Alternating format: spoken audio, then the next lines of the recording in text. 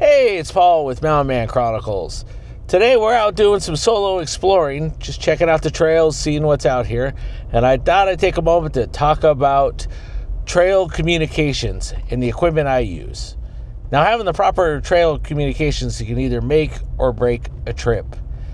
Hopefully, using some of the equipment that I'm going to share today, you'll learn how to both save a marriage and make your trip more enjoyable. If something happens, what are you going to do? Hope you enjoy the video. Remember to like and subscribe. Welcome to the Mountain Man Chronicles, where the spirit of adventure comes alive. I'm thrilled to have you join our journey into the great outdoors. I'm Paul Piazza. I'm your guide through the wilderness and the storyteller behind the Mountain Man Chronicles. I hope you share in our love and appreciation of what this great world has to offer. Here we live in three simple principles live, learn, and explore. Live, immerse yourself in the thrill of the moment, whether it be overlanding, exploring unique ghost towns, or simply enjoying the serenity of nature. We believe in living life to its fullest. Learn, cultivate that childlike curiosity. Every adventure is an opportunity to learn and discover something new. From overlanding trips to mastering trail navigation, we're a constant journey of learning and growing. Explore. Be comfortable with the uncomfortable. Venture into the unknown. Our chronicles are a testament to the places we've been and the stories waiting to be untold. Join us as we explore the hidden trails to the pristine lakes and the mysterious places this great nation has to offer. And of course, what adventure would be successful without proper planning and the right gear? We'll be showcasing some of the tools of the trade along our journeys. I truly hope you enjoy our chronicles and the journey that my wife and I travel through during our overlanding adventures. Thanks for watching. One of the biggest pieces of tech stack that's made a difference for us while we're out exploring is the WeBoost. It's allowing us to communicate, have cell signal for her so she can download videos and stuff like that while we're out exploring. Um, and it just extends the cell signal. Now, WeBoost isn't going to replace a non existent cell signal, but it will take a cell signal and amplify it and make it come through clear. I'm going to show you here a sample here in a moment with using a, an app that is basically a cell signal. It measures your cell signal coming into your phone and show you the difference that it makes. And this is, we're not very remote. I'm still getting a relatively good signal, but you'll see that it does boost it. So that what we're staring at here is a signal meter. Basically, it's an app for your cell phone telling you how well your cell phone is getting communication. Um, I have the WeBoost off right now, and it's at 99 decibels. You'll see when we turn it on, it's going to go strongly into the green. As it increases, it's gone to 96. In a moment, it should jump again. There we go, 92. Like I said, it that's enough to make a difference between no signal and some signal, and it's going even higher as it searches for a better signal. So WeBoost does make a difference. Um, I've been sitting for some time with the WeBoost off, and it stayed relatively flat at 99. So you'll see here, just standing still, you could see the decibel difference with the WeBoost on versus the WeBoost off.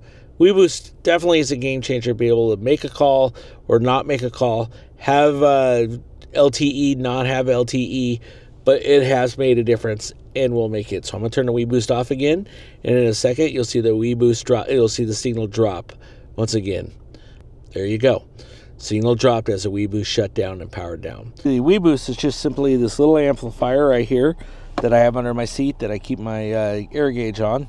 That has an antenna coming into it, and basically what you do is you take that antenna and if you've ever seen these driving down the road, that's what the heck they are. It is your WeBoost antenna. I have mine relatively high in a Jeep and absolutely love where I mounted it. I absolutely love this radio. As you can see, I've mounted it down here, um, down below, so it's out of my way. What I love the most, first of all, what I wanted my priorities on an internal radio is I wanted something that I could mount and it would look like part of the vehicle. I wanted a radio that I could put that would be unobtrusive look like it's part of the vehicle, A. B, um, sound good and have good uh, power so I can get out far away and have multi-band. And you'll see here that uh, it does have multi-band. Um, and it'll track up to that. Also, you can plug in some hammer channels that you can monitor, but you can't communicate on. It's a cool extra feature. And by far the best feature of the KG1000G is that the remote face. You can see here I have it mounted down below Looks really well. It's unobtrusive. Looks like it's part of the vehicle. Um, it's totally out of the way and it works really, really well. Um, I can monitor multiple bands. It also can do repeaters. So that was another thing I wanted for a radio.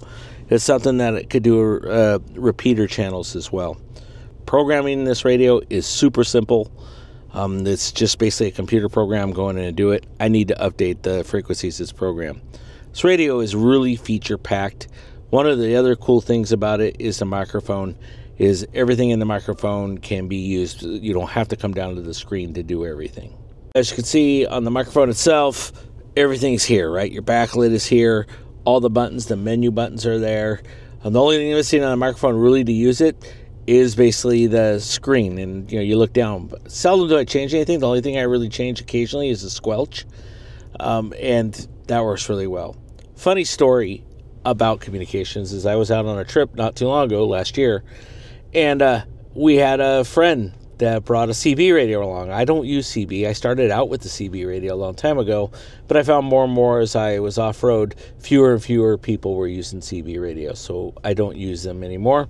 I've converted everything over to GRMS, and that's primarily what I use.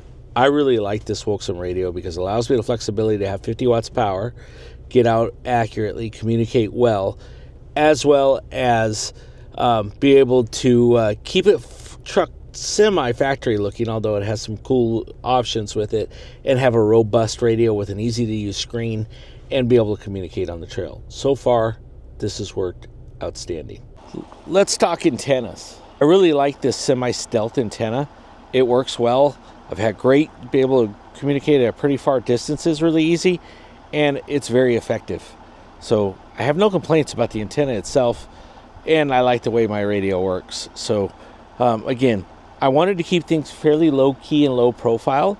So that's one of the areas that I didn't skimp on when I did it, and I'm really happy that I haven't. As my other radio I use is the TalkPod.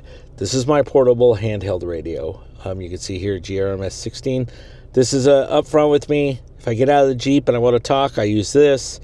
Um, I also use, uh, so this allows me to give to my spotters, allows me to use something to communicate with, can monitor separate channels. There's a lot of traffic, like on our Wheeling channel as we're going. I may ask my spotter to use like channel one, and I'll just use the opposite channel on my Wouxun, so I have two channels to choose from. Allows me to chat with them without having all the chatter, but still monitor the extra channel. That's how I use extra channels. It works really well. The TalkPod's a great radio. It's been so far, I can't complain for a cheap two way radio. Very inexpensive, works really well, and allows me to give my spotter something to use. Again, this radio is really feature functioned. Um, it can be programmed for ham channels. I use a separate ham radio for that, um, but I don't use ham too much on the communications because most of my people that I go out with don't use a ham radio. So I stick it strictly to GRMS and try to keep my tech stack fairly simple. Um, so for communications, I'm using the GRMS radio, both this handheld TalkPod and my Wouxun Ocean KG1000G. Let's talk InReach. So this is my Garmin InReach and something I have used a Garmin InReach for years now. Big fan of it.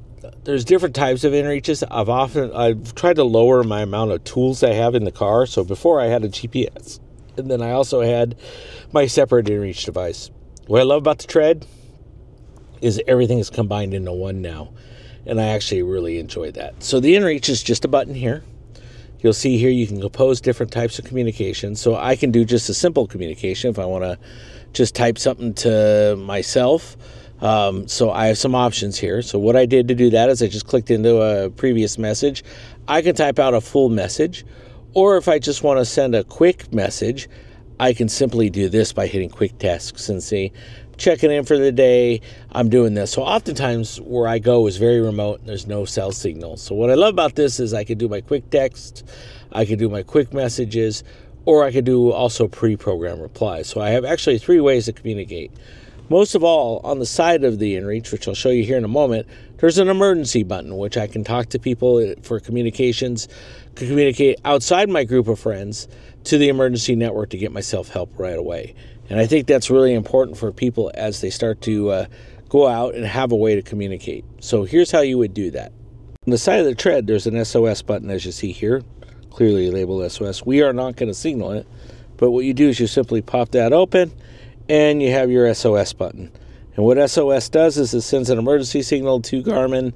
They'll disp- they'll first communicate with you if they can't get you, or even if they can, you could say, "Hey, listen, an emergency happened. This is what I need," and they'll start communicating with you in real time. What I absolutely love about the Tread is it does it on the app. It's big. I can read it signals back and forth. So think of it as text messaging with an emergency responder um, in case of emergency. And then if it's really bad, they, you can send in SARS, you can send in different people. They will to help you out to recover it. If not, it could be, hey, meet me at the trailhead. They're in the Jeep and we're headed out. We'll take care of it. Got a broken ankle or whatever it needs to be set, and I can't get to a, a hospital. Whatever it is.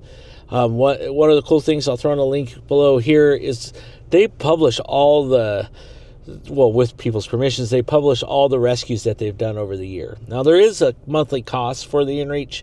It's an investment. Think of it as insurance. It's not bad. Um, a little pricey, but I, it's not a. To me, it's not a deal breaker. Uh, you know, for an emergency, probably one of the best things you could do.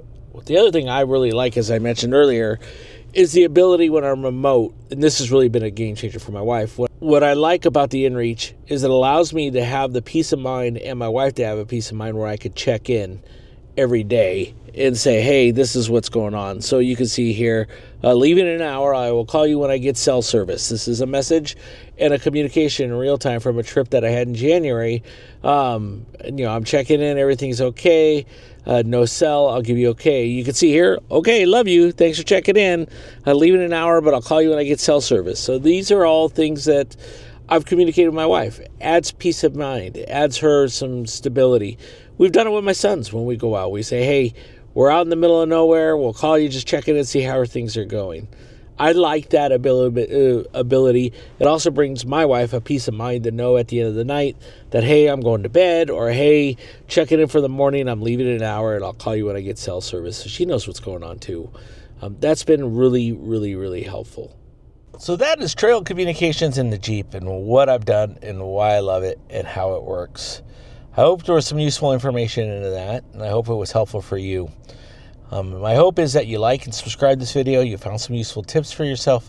Please comment. I'd love to hear what you're using for your trail communications, what type of radios you use, um, what you think of the three outline of you know standard rig communication, external phone communication, and then emergency communication. I'd love to hear what you're using in different three categories.